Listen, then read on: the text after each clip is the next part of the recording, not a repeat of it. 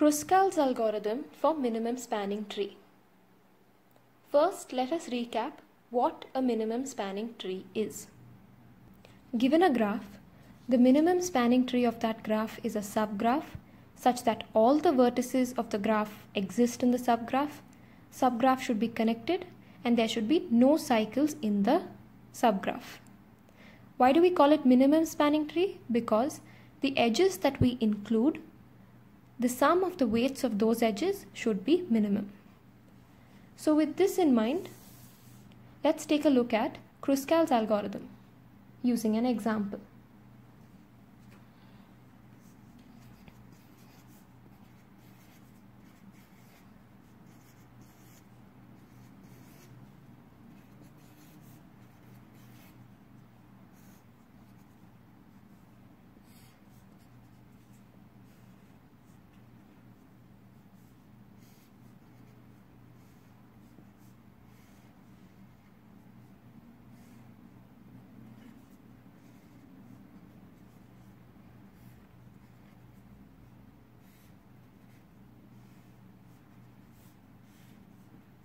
So this is going to be the graph that I want to construct the minimum spanning tree for.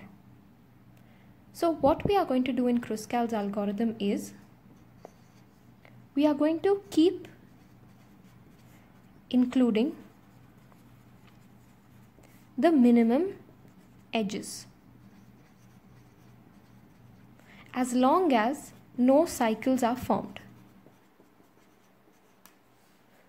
Once we cover all the vertices, we stop. So let's start. Since we are going to keep including edges and we know that the subgraph is going to finally contain all the vertices, let's first draw all the vertices.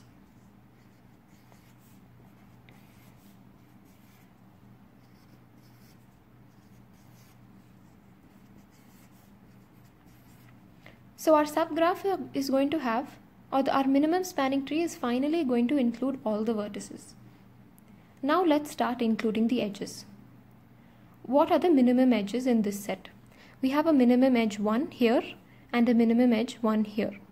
So first let me include this.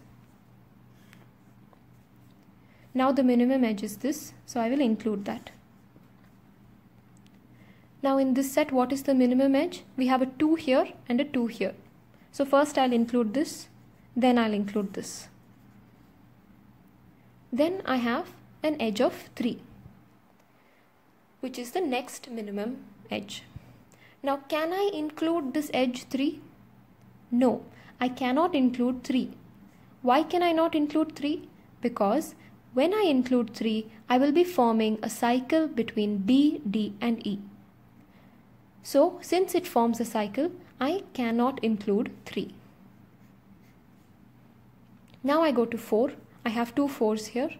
Can I include this 4? No, I cannot include that 4 because that would create a cycle between D, B and A. Can I include this 4? Yes, because that does not form a cycle. Now I go to 5. Can I include this 5? No, because that forms a cycle.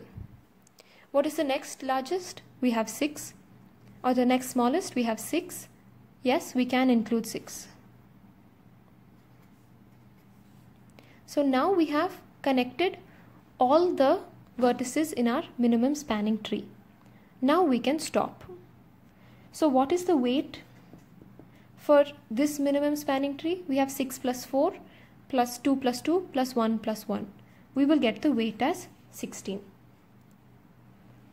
So this is how you perform Kruskal algorithm to find the minimum spanning tree given a particular graph.